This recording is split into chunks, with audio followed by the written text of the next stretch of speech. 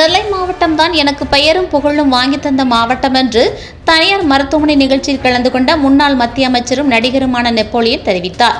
நெல்லை மேலப்பாளையத்தில் செயல்பட்டு வரும் மயோபதி தனியார் மருத்துவமனை இரண்டாம் ஆண்டு விழாவில் நடிகர் நெப்போலியன் கலந்து கொண்டு குத்துவிளக்கேற்றி வைத்தார்.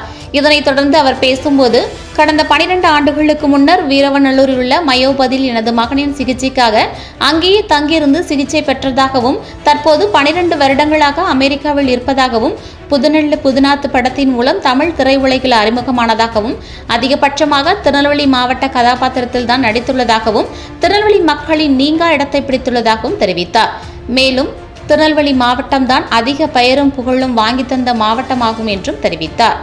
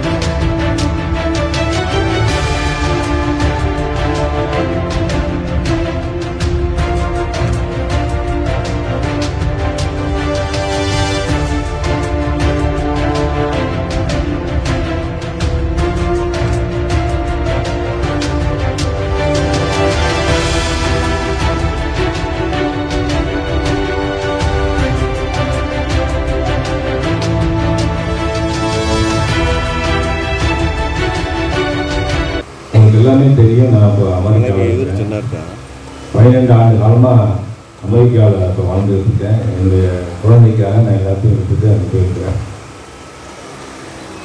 புதுநெல்லு புதுநாத்து அப்படிங்கிற திரைப்படம் மூலிமா தமிழ் திரைப்படத்துறைக்கு என்னுடைய குருநாதர் பாரதிராஜா மூலிமா அறிமுகமானேன். அதுவும் உங்களுக்கு எல்லாம் தெரியும். முத முதல்ல விக்ரமசிங்கபுரம் பணியார் வீட்டில் தான் என்னுடைய புதுநெல்லு புதுநாத்து அந்த படம் படமாக்கப்பட்டது. அங்கேருந்து என்னுடைய வாழ்க்கையை தொடங்குனுச்சு. அதுக்கப்புறம் நிறைய திரைப்படங்கள் திருநெல்வேலியில் சின்னத்தாயிலேருந்து நிறைய படங்கள். இந்த திருநெல்வேலி மாவட்டத்தில் நடித்தேன். அதிக கதாபாத்திரம். சிவலப்பேரி பாண்டியன் இருபத்தி ஏழாவது படம். நான் கதாநாயகனாக அந்தஸ்து உயர்வு பெற்ற சிவலப்பேரி பாண்டி முதல் எத்தனையோ படங்களுக்கு நான் திருநெல்வேலியில் நடித்து தான் இந்த இந்த பகுதி மக்களுடைய வாழ்க்கை அடிப்படை ஆதாரமாக வைத்து எடுக்கப்பட்ட படங்கள் அதிக கதாபாத்திரம் நடித்ததுனால பேரும் புகழும். உலகெங்கும் எனக்கு கிடைச்சது. அதில் குறிப்பாக திருநெல்வேலி மக்கள் மனசில் நீங்கா இடம் பெற்றது எனக்கு மிகப்பெரிய பாக்கியமாக நான்